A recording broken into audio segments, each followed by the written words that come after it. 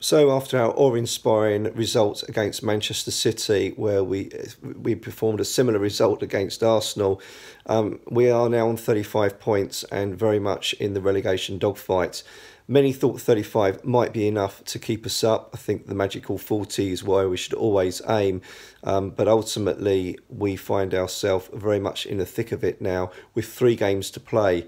I thought it'd be sensible to pause and reflect and look at the teams around us to see what potentially could and might happen.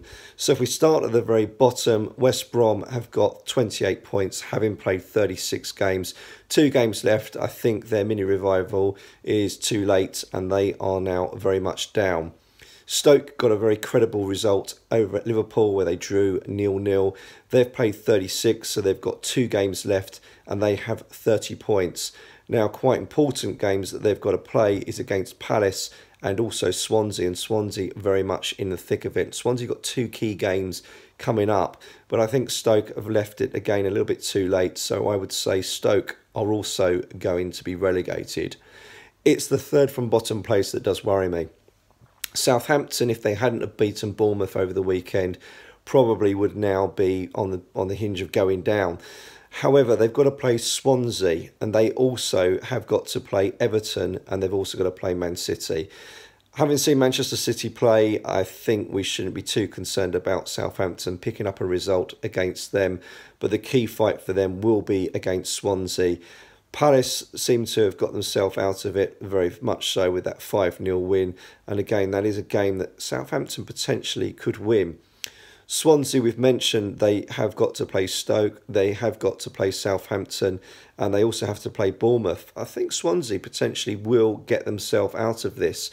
I can see them getting a result against Bournemouth. That will put them above West Ham because they would be on 36 if West Ham don't pick up a win against Leicester City. Huddersfield have got a very, very tough run in, and everyone's sort of looking at them potentially occupying that third from bottom spot. They've got Chelsea, they've got Arsenal, and they've got Man City. Got a very good manager, but that is a tough run in, so they clearly will be in the mix there. Let's sort of cast our attention just above us before we talk about West Ham. Brighton have done a very good job. They've got 37 points. I think that's going to be enough to keep them up. They knew they had a tricky run in with Man United uh, and also Liverpool to play. They potentially could afford to lose both those games. So well done, Brighton. Let's talk about West Ham. 35 from 35. They've got three games to play. The home games are Man United and Everton, and the away game is Leicester City. Leicester City are on a really bad run at the moment, and that is really where we need to try and pick up a point or a win. What worries me is Moyes will set us up for a point and that potentially means we will lose. Um, it also worries me with the issues with Andy Carroll because I would have loved to seen Carroll and Arnie up front and really going for this game because it's a must-win game. Um, we shouldn't take away the fact that Leicester won the title several years ago, um, but this is a game that's very winnable and really it's where we can put ourselves clear of all of these issues and the bunch around us.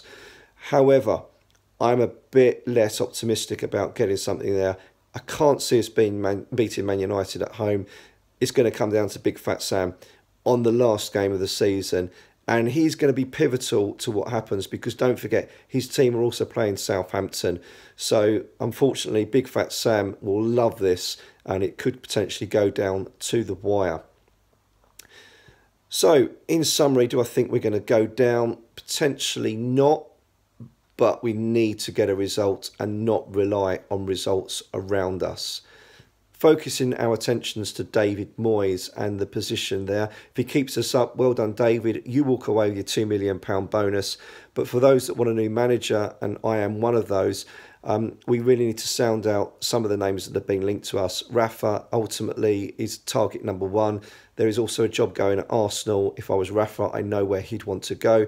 Brendan Rodgers, does he want a project from Scotland and come down to the Premiership? I don't know. What I do know is money talks, and ultimately, if there's a five million buyout for uh, Rafa, then let's pay it because that's less than Jordan Hugill's uh, transfer fee. Cannot even say his name, but who is he? I don't know. But anyway, we need to sound these people out. If there's no intention of coming to us, then ultimately it looks like David Moyes will secure a job for next year. This slightly worries me because I don't see his football being entertaining, and I also see us being in a similar position to last year if he remains at the helm. What I will say to David Moyes is well done for the backroom staff that you've brought in. Irvine, McKinlay, and Pearce are highly thought of amongst the club officials and also the players. I think if Slaven Bilic had rearranged his backroom staff and been less stubborn, he would have found himself in a job this year. But sadly, he refused to do that. Um, I also take my hat off to David Moyes for the work he's done with Arnie because he's clearly proved to be a fantastic signing for the club and really come into his own when he's been playing up top. But personally, I would love to see a change, and clearly, some of the names that are being touted around are highly credible managers. So let's go after them and see if we can get one of them at the helm for West Ham. Come on, you Irons. I hope we uh, get our future sorted out before the Everton game, but I clearly do have views that it will go down to the wire. Thank you.